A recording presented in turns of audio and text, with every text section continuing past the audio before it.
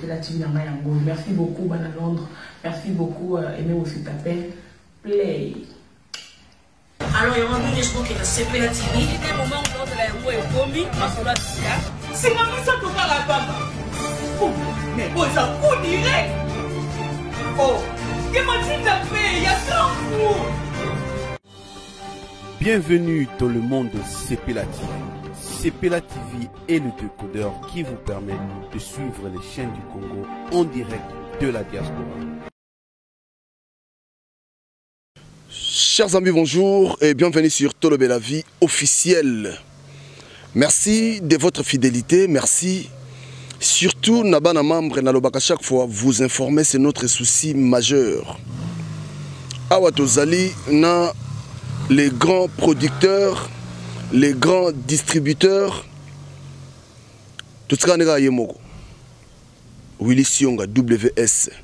joyeux anniversaire. Ouais, merci beaucoup euh, tolobela vie Papi Gen. Papi Gen eh, tolobela vie Papi Gen eh, kuna balobi nini eh, awa balobi nini eh. C'est WS euh, Willy Sionga naza ya yo. Voilà, donc euh, aujourd'hui c'est son jour euh... Hein, kulutu na biso nayebaka te soki napesaki age nini nayebaka te kote, kote, kote, kote biso azali kote kuna azali nayebaka te donc kote kuna balobi nini willi sionga donc euh, plein de bonnes choses à vous mon vieux lelo nayambi willi sionga tomeka kobeta masolo oyo botunaka mpe oyo biso surtout nga moko je me demande euh, makambo oyo ekoma ndenge nini je me pose tant de questions par rapport ya production omona artiste moko akoti studio bon akoteli studio yango après akoteka mpe cd te mpo mama cd yango ndenge ekoma après bon e, téléchargement donc tokobeta masolo ya production na willi sionga déjà je dis un grand merci na grande équipe atolobela vie l'honorable 4 fois prêtre washington de grand pays na minique merci euh, na babingoma en direct de l'italia hein? Euh, Babi Azeno, hein? Euh, Babi Azeno. euh, avec Dimon Fuma, mm. euh, Guy Baena. Voilà. Toba na Italie, ya bino yango wana na avant tobanda na tobani nono na ye moko Dimon Fuma. Mm. Mm, kolo o babaka mfumu na forme. Mm. Eh, ba, na ye moko Guy Baena kuna na Italie sans oublier ye moko le chef coutumier babi ya zeno na milano voilà donc euh, lelo ezali mokolo ya esengo eza mokolo ya mbotama euh, mikolo ya boye ezalaka mbala mibale te on ne sait jamais donc so nzambe akomisi yo il faut toujours koprofite nango yango wana omoni wilison azoprofite merci na papi leroy carte illimité formule ya suka tout à l'heure totozala na yo nazali na euh, kulutu na biso willi siongo willi siongo bonjour euh, bonjour tolobela vie papi gene papi gene hein. mais merci mingi ya koyamba nga na plateau na yo ça fait un bon moment on est bon moment to ya ba vieux king ya vieux king ti lelo bon naza pe moto oyo nalingaka koleka réseaux sociaux eh, eh, surtout na ba émission pamba pamba te fona sana na moto aza na qualité donc eh, ayebi bakama boulot donc yo oza professionnel yango moni vraiment na, na sacrifier mokolo na ngai anniversaire na ngai toyeba kote oyo donc eza bakote moko génial donc naleli yango fort mais sans compte euh, eloko moko boye euh, wuti oleka batala towuti na ba na baconfinement wana na bapandemie euti oleka tobungisi baoyo tozalaka bango cher mosusu tomemi bango tokompagne bango na badernier demeure na bango te esali mpasi na baoyo tozalaka na bango mais euh, nous sommes toujours euh, na mawa na bango euh, nzambe alola ye moko ayebi eh, pourkui abengi bango biso baoyo totikali ya tokanisa te ke biso nde toya danger toya libende te biso mpe tokokende na ntango na biso mais lokola grâce wana kaka nzambe apesi biso tozala nano na bomoi sikoyo moma yango yango oyo tomibongisama eh, komilengela ekozala malamu kosala bolamu ebele ko reconnaitre bolamu ya mutu oyo soki asalaki yo ezala mwana moke ezala mokolo en tout cas faut ko reconnaitre yango mpo tobongisa nzela na biso ya kokende kuna epai ya ye moko eh, nkolo grand prêtre eh, yesu masiya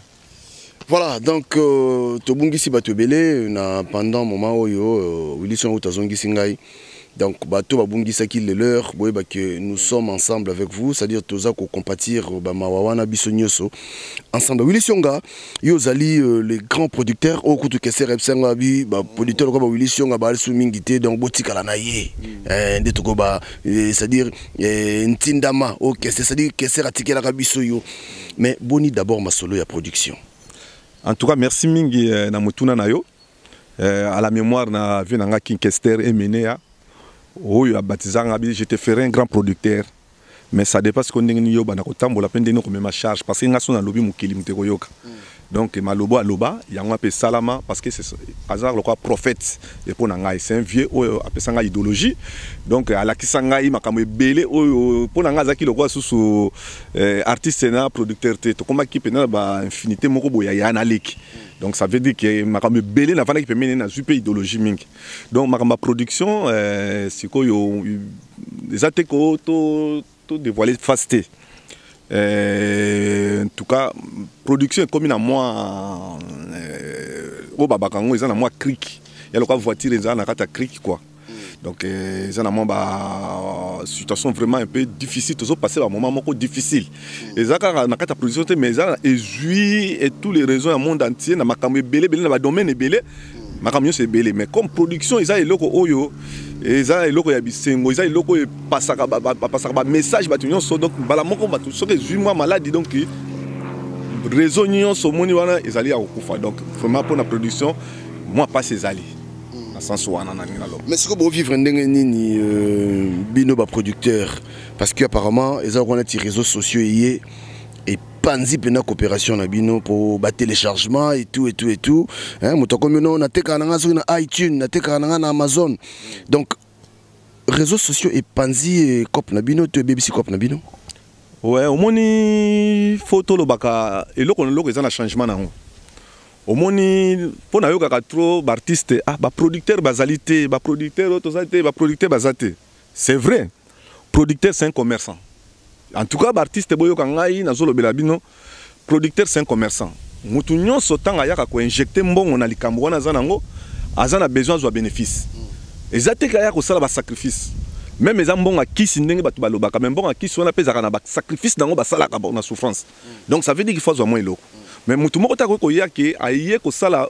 eh, boulot pa artiste moko atie mbongo na ye na retour azwi eloko te oske oza sur lobi akoya lisusu na coopération wana donc jamais donc ntango wana omoni ke baproducteur baza koya bakotia mbongo un producteur azozwa déjà un artiste mingi sikoyo eza ça dépend ya bacatégorie ya baproduction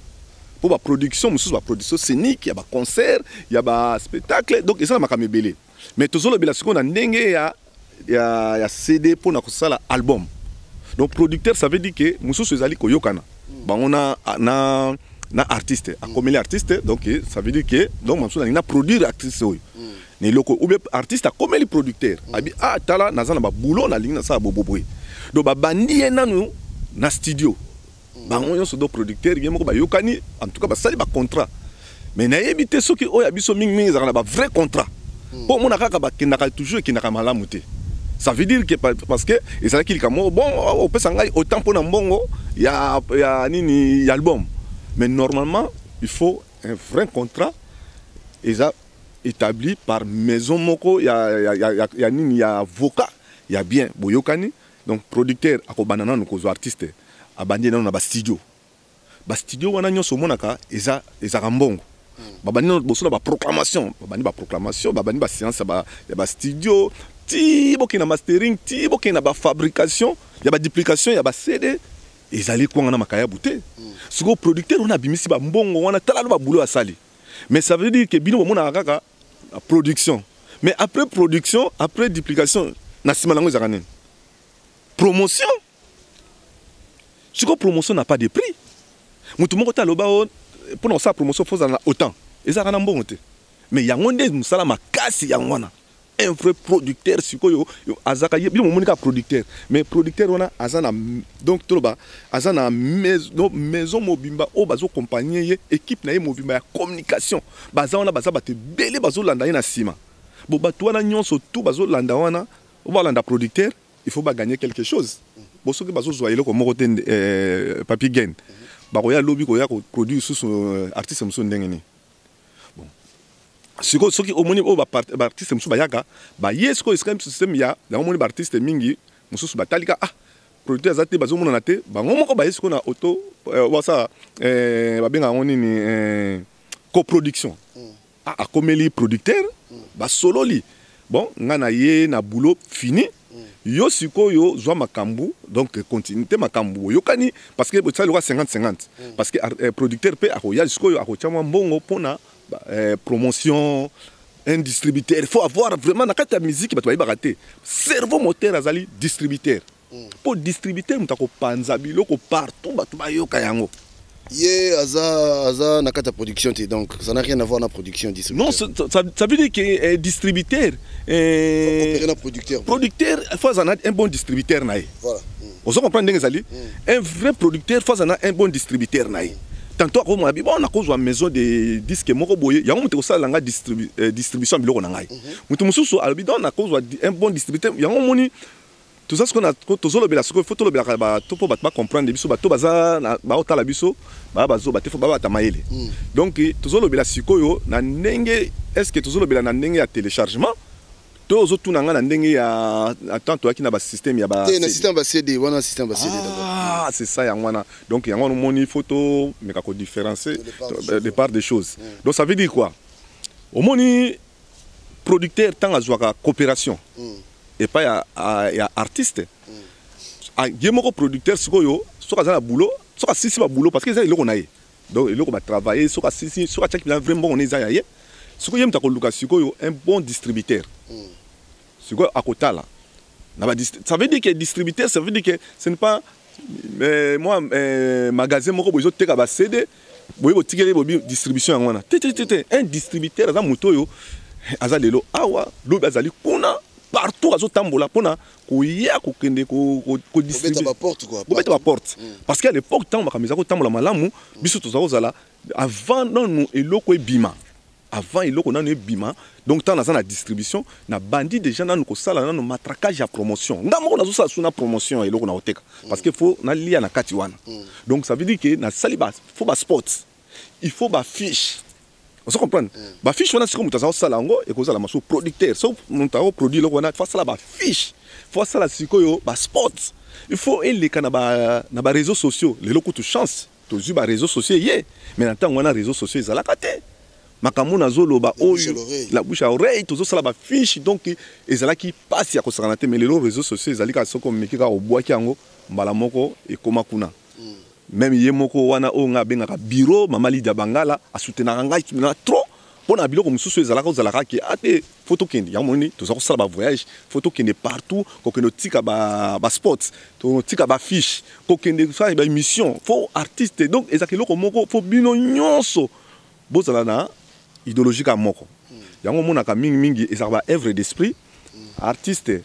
producteur ba distributeur donc équipe oyo nyonso travailler sur l'album wana fo bozala soude bozala uni mm. mais soki déjà mwa ntima ekoma okota bien te na kati wana o oh, te kote mbongo makambo bien te ebebisi makambo tout mm. mais lorsque tu koloba que eh, coopération omni kufa en tout cas vraiment coopération na kota CD mm, en tout cas kota CD vraiment na ebité hein on va me souba zolo baké oh te na zo bimisa en tout cas na cote CD vraiment na ndimi te parce que eloko na eloko moni ezo changer monde ezo changer mm, tozaki évolution ezo changer par rapport mm. to bandaka liboso na ba ba ba ba cassette mm. ba cassette longwe to yekoma na ba CD mm. donc CD ezo longwa to bana na ba tourner ba disque ya ba disque ba 33 tours ya ba 45 tours mm. siko ekomo koma siko to komo koma siko na système ya téléchargement mm. donc siko biloko ekomo kende faut ko tanga na téléchargement na ba CD pe to ba vérité oya kolobela ngai ki azo teka ba CD ah na yebite mamsusu ateka ngona ndenga butu soki téléchargement donc ce que ce que production ekufi nango non production sikoyo ekomi sikoyo ya ba oyo ba eza sikoyo na ba grande maison omoni neti sikoyo boye naosala so naosala distribution neti ngai oke mama koafilie mamango na maison ya monene na believe believe ezali eh, maison ya monene oyo ya plateforme ya monene oyo aza na au moins 152 plateforme oyo ye akontrolaka yango donc yo oke ko inscrire kuna faut yela bango siko soki ozwi produit neti nga siko soki artiste to coopérer na ye neti na distribution numérique mpo bamosusu bakomi na banini na bango na bakomi nango nini na ba banini na bango ya, ya téléchargement ya balobi ona kotya yango na téléchargement na nini moto na moto mais sikoyo soki oye nango neti na maison neti moto loka nga nga natia yango na, na téléchargement fo namema yango sikoyo na grand maison neti believe believe azali grand maison ya monene oyo lokola ba because lokola ba, ba sony eza ya monene ngai naza na, na, inscrit- nakomisa kuna atanke na mwa biloko oyo naza na yango oyo nabimisa donc mwa catalogue ya mwa moke eza kuna sikoyo soki ozwi eloko donc bosololi na artiste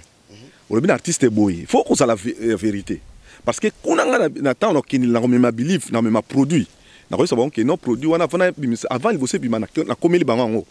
na prochette nde ya cd neti topesa dvd ou bien eh, cd nake komonisa bango yango tala ngambo na kozala na distribution eloko oyo mm. bango kuna bazwaka yango na 1 euro 29 mm. 29 29 wana ya, eza lokola ya bango mm. sikoyo batikeli bino kaka yo batikeli yo lokola imbal mm. mais yo sikoyo na artiste fo bosolola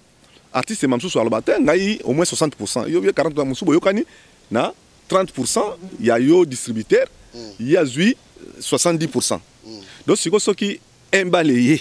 nde tolobaka imbal eye imbal wana soki eye mm. ngai bakosala yango ntango bakoteka parce que ezalaka chaque 3 mois mm. basaleli yo feye mm. bakomeli yo ndenge basombi mm, na detail mm. tanto na, na biloko nyonso oteki soki etekami ma mosusu topesa exemple kaka bon topesa exemple moko noti ya ba 1000 balle eh, topesa exemple ya 1000 euro ça dépend eloko nini mpe ozotia kua soki eza mpo eza na promotion 1000 balle bango déjà bapesi yo 1000 balle yo déjà bakosala eloko na, na, na chèque na nini obi na nkombo na yo mm. adresse yo mpo bayebi yo bayebi mm. na artiste wana te mm. donc yo olongoli mangoko eh, 300 mm. eh, parmi mille ya lokwa eh, 30 olongoli 300 mm. na yo mm. donc 700 eza ya artiste mm.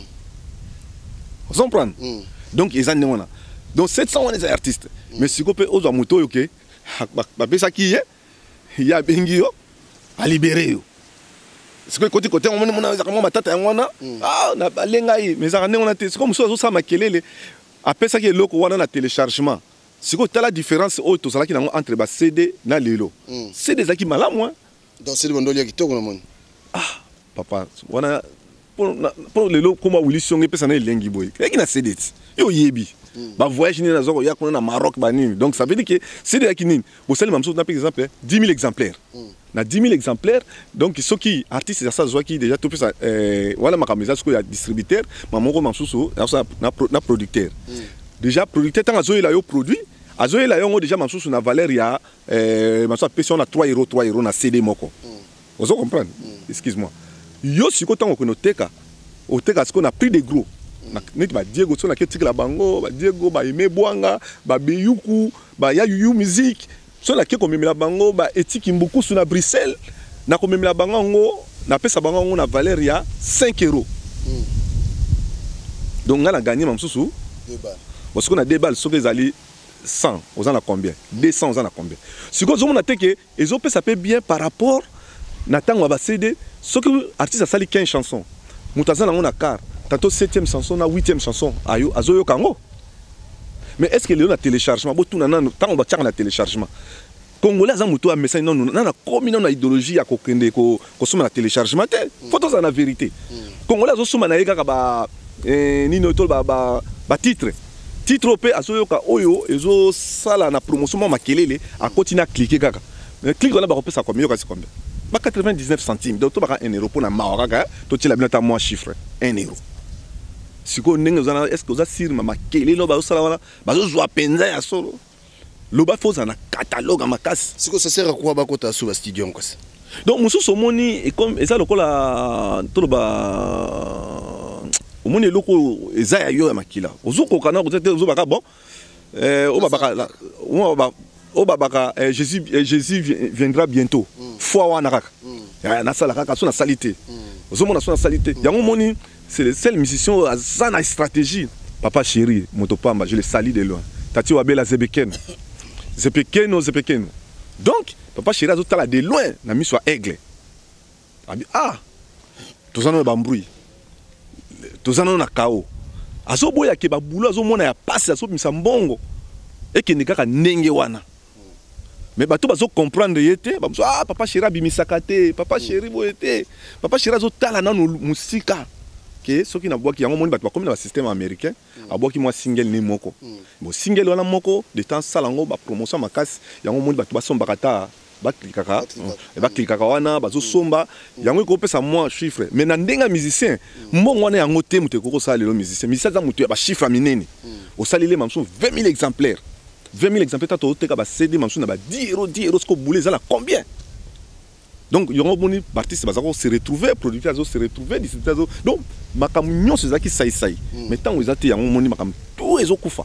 mais sikoyo bango re balobaka na bato verité kaka oh, natya yango na téléchargement kuna ezokende bokota kuna bokende kuta est ce que congolais mpenza azwaka temps ya kokota congolais akomoko préféré ne eloko ofele na na youtube siko fo basala ndenge nini kasi baartiste fo basala ndenge nini yo etant producteur conseil nini okopesa bango non mais baartiste sikoyo ndenge baza wana un artiste fo bokende koaffilie sikoyo na bamaison ya bagrande maison ya disque bokende kuna kokomisa mamso ombi ah so naki opesa distributeur déjà un azolonga so 30 pourcent bon sikoyo lisusu eh, ngai parce que yo ntango yo ozoluka okende kuna maison yango mpe ezwa yo na biloko oya nango fo bakotuna mamso eh, oza na catalogue yela biso catalogue Parce que ba catalogue wana bango balingaka ozala mwa eloko ebele oyo epesi kuna oyo epesi moke ti esali mwa chiffre mm. mais soki oyeli bango kaka neti album moko oyo kotikela bango babino bakotuna mosusu osalaka biloko mosusu te oyo yo moko banini banini bo babiloko mosusu wana mpe ezalaka ifo tuna est ce que ntango basina ye contrat ezalaki ya ye to ezalaki ya producteur ozomona mm. sikoyo moye oyo yaya te neti ozomona ba, ba, neti ba, ba, ba, te lokola ba, ba Jimmy Wetinu je le salue vraiment de loin bango aza na catalogue parce que aza na album basala au moins 5 albums avec eh, Awilo Longomba asali au moins avec Orlis Mabele aza déjà na catalogue wana même azui eloko na yo moko ake na yango kuna Deja un ekopesa ye mbongo na ba oyo mosusu ezali deja bonso oye kaka na CD na yo soki disque no moko oke kokotisa yango na maison moko ya disque bon basalela yo promotion mais tout wana bakoyoka si eza facile. Soki olobaki eloko moko na dobi awa que eh, banda kosala bapapier te mais comment yo ozosigne affaire ya monene bongo wao eh, musicien mpo azosigne affaire ya monene bongo bokosala affaire oyo korapporte beaucoup d'argent comment bande kosigne bapapier te mais omoni Bon, nakoki koloba te ke nyonso basina te bamosusu basinaka oyo ya mayele bazali me mosusu eza kozala kaka bo ah, na ye napesi oh, sikoyo nakozwa album no bo sikoyo sa combien ote oh, album na yo okopesa nga autant bamosusu mpe basololi bakamati mbongo bapesi ye mm. yango mosusu mpe basala bapapier est ce que na kati ya bapapier wana eh, babenga yango nini est ce que barespecta mingi mosusu barespecta te mosusu omona bayokani mpenza na 5 album bon topesi yo autant faut sala biso 5 album premier album abimisi deuxième album achange na ye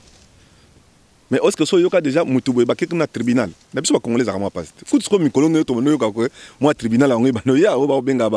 baobenga yango nini eh, ba eh, oyo ezongi na kini bakoma eh, soki droit de nini soki état de droit ndenge babenga état de droit soki mpenza ezali ya solo mm. nde mais so otali bien na bato banda miziki ebanda so yoka Kingani na Kingani bake na tribunal pona makambo bapesaki mbongo ya dise. Non rien.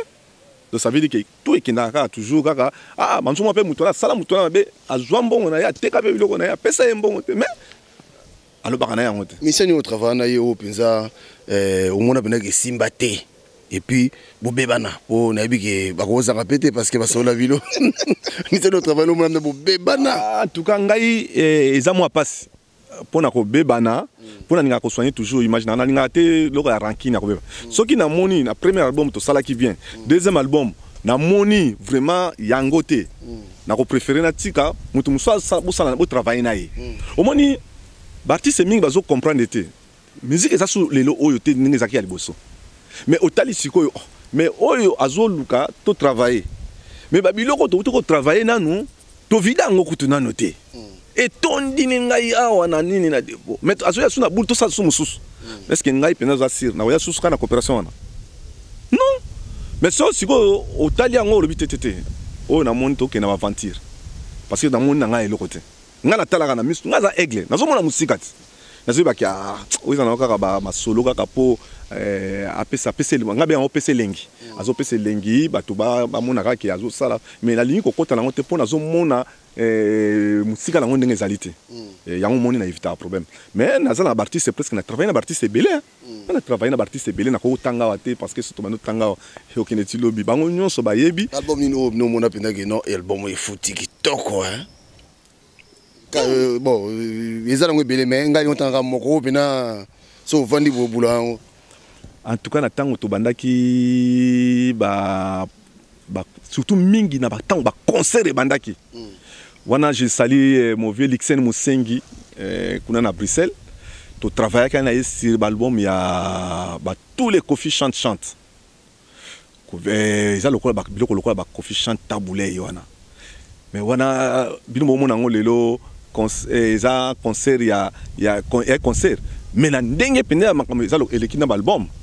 na concert moko boye fera bimisaka lipanda mm. eh, laisse tomber laisse tomber donc wana mpenza ozomona ke ezotekama eza na biloko ebele na e eh, nazobosana e eh, ya mado e eh, ya fabolo fabrigas de loin suka oyo ozomona peke chateau rouge eningani oza na mosika mais telefone ekomi décharge bazobenga yo awa bazozela biloko ozwi yapi okomi nano okomi te bato bazozela yo donc ezalaki babiloko moko lelo ekosama lisusu te donc baza na bamusicien ebele ya biloko ebele na teka en tout cas nga na teka presque tous les artistes presque tout donc bamosusu oyo nazolobaka mpo naloba euh, ezali ba eza na babiloko mpe ebele oyo nateka ya baartiste mpe etekama ya kosakana te meso na bandi yango awa tala bamosusu bamona avantar mais eza nango rien bisonga euh, mwa mbula mpe bandi kobeta tokomi na biso presque na suka mwa message epai ya baartiste nyonso bakolanda biso epuis mwa bambote esika bato bakolanda yo en tout cas vraiment eh, nazopesa baartiste nyonso vraiment mbote en tout cas meme oyo totravailla meme oyo totravailla te vraiment en tout cas je suis toujours avec vous oyo amoni ke aza na besoin to travailler faut toya tosolola namonisa yo mpe ndenge mokili yango ezokende mhm. tozala kaka te mpo na sentiment ya kozwa kaka mpo tozwa eloko rien tala lelo tokómi na monde oyo est ce que tokoki kosala nini yo mpo ede ngai ngai mpe na ede yo tokómi ndenge wana vraiment nazosalue mpenza baoyo nyonso oyo mpenza eh, surtout nazomona salon elbi to coiffure na saint denis tala kaka sel eh, eh, salon oyo vraiment kokata kitoko sans oublier euh, global express patrick malavengi global express mm. nabosani te sandro kiyambu oyo sk fret bango wana bato ya fret ya kosakana te nabosani te serge kalubi kuna na rtnc sans oublier eh, nani david mombele Hum, kosi na yuda wana penza leki ya petit na ye donc eh, nabosani te petit na ngai davin le pria pire petit ya palais donc nabosani te sans oublier baoyo nyonso oyo bazalaka na ngai oh, nabosani te colin sionga kuna na maroc eh, colin sionga mpe na maroc napesi yo mbote mingi na, na yo souhaitaki ngai joyeux anniversaire ngai ya na yo nabosani yo te wasama diakota palme d'or donc yo mpe ozali eh, nabosani te papi lukasi na bruxelles Ah, petit nanga papi Lucas, na bosani yo te. Bunchi Sopila. But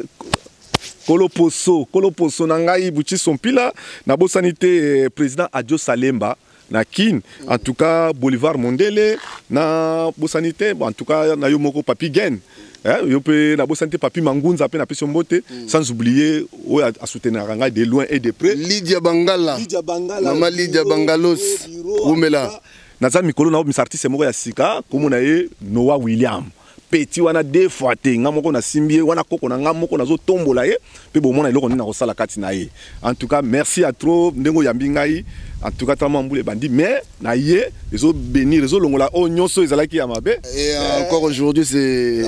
en plus lelo eza mona journée na ngai mwana 1900 ntango ndenge nazali nano boye so napesi yo mbula eske okoka yango eh, okoka mbula na nga suki ya pembe ezali te en tout cas na salue eh, bana na ngai nyonso en tout cas na salue eh, bafamille na ngai nyonso bacamarade na ngai nyonso oyo nyonso oyo ayebi ata natangi yo te mais nazalaka toujours pembeni na yo mama lida bangala vraiment continue toujours ya kosoutenir ngai jenny becam eh, guilain bangala josi bangala eh, nabosani luna maluna kuna na nini joel bangala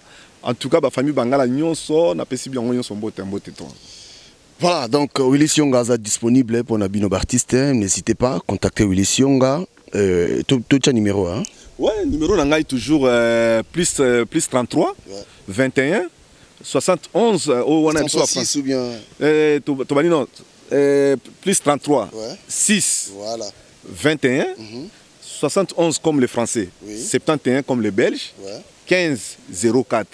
oyo nyonso akobenga ngai na ndenge ya masolo na ndenge ya jeu hmm. obengi ngai tokosolola na biso vraiment en tout cas naza mpo na bino nyonso mais nalingaka nde moto akoya to travaille na serie voilà. nazopesa tous les artistes musiciens oyo ya biso vraiment eh, tozopasse bamoment moko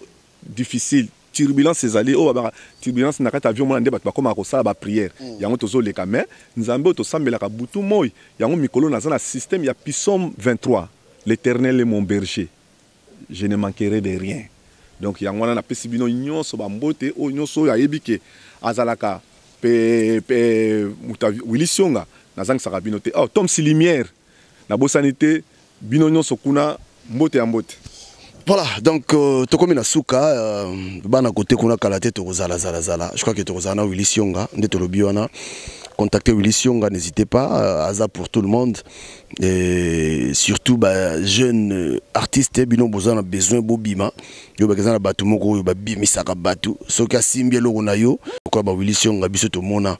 Euh, alors un grand merci na bino nyonso bozwi temps oyo bodispose mitema to matoyi na bino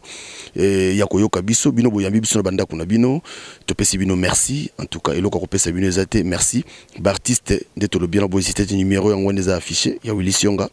soki obengi ye bosali masolo me ekoma mpena mpe ya papier eh, osali papier koyaka te ko bon eh, na, na, na bord na nga te yaka na papier bosala contrat Euh, je crois voilà donc yango wana likambo suka bwaki ya gwaya samaton te samatona gwaya eh, moto na ngai eh, eh, azeno babi azeno ah, babi azeno en tout cas nabosani te mpo mikolo oyo eh, nakomi na babiere hmm. kaka na italie kuna en tout cas vraiment bango wana bakanga mikolo oyo équipe de choc ya bango baoyo abengaka mai ya sika hmm. babi ya zeno na milan hmm. sans oublier dimon vuma mfumu na forme nabosani te gi eh, gi bayena bango nyonso bana Italie bango nde mikolo ya bilamba donc deux fois te eh, voilà nga mpe napesi mbote epai ya babi ngoma hein, na italie na, na naples mokonzi ya naples babi ngoma voilà nazalaka moninga na yo te tolobela vie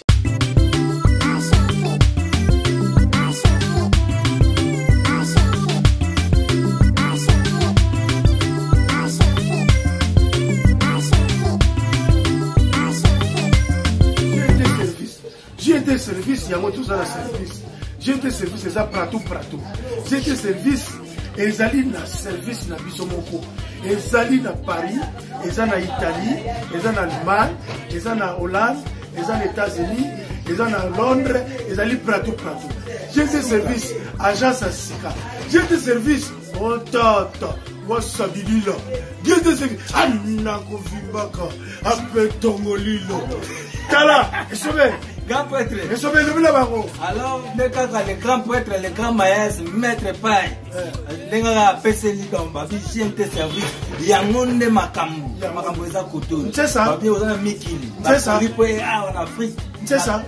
précisément congo parti ya gnt service bakolino ndenge otyelaki yango ndenge epuis a batyaka na matabisi kosakana kutu te donc makambo eza koto gnt service bandeko mm. en tout cas ndenge ya koloba eza te gnt service bino omoni kaka maître fa e jakishan eh. donc papa na mwana papa na mwana na fils pere mon fils